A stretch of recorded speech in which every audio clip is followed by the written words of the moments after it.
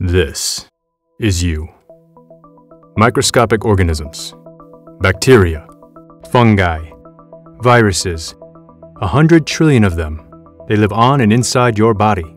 They outnumber your body's cells 10 to 1. Together, they make up what is known as your microbiome. Just like your personality, your microbiome is unique to you. As we discover more about the microbiome, we enter a new world of possibilities. What if we could analyze your microbiome and tell you exactly what your health risks are?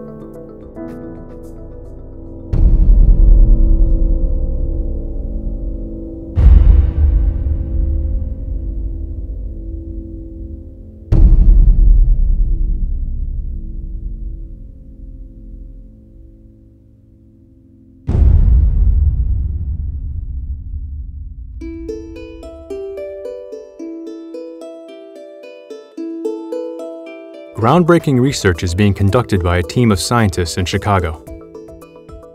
Using state of the art equipment, they can analyze and process tens of thousands of samples. The supercomputer that we have here is 179 servers with 26 terabytes of memory and a petabyte of storage.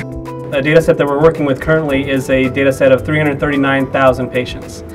And what we're looking at is how we're going to correlate hypertension and obesity. A lot like having 3,500 desktops working together to solve the problem. What we're doing is taking data from their medical records, uh, from census data, from um, genetic data, urine data, lab data, and putting them all together to kind of build a composite to be able to answer questions that we weren't able to answer yesterday. We are seeing if we can find predictors for transplant rejection before the patient experiences any outward signs of this condition, which would allow the healthcare provider to begin early preventative treatment and hopefully prevent the patient from losing their organ. It's different for everybody, so it's very important to be able to study uh, medicine in a individual capacity. My goal is to try to move forward cardiovascular disease, which is the number one killer in the US. People should get their microbiome analyzed for um, several different reasons. The primary one is to help themselves. You are going to have better quality of life long into your years. You're going to be able to hike, you'll be able to walk, you'll be able to do all the things that you want to do well into your old age. As passionately as I believe in taking care of patients and making a difference, I think that we have a responsibility to do so. We don't have enough information to actually process it right now.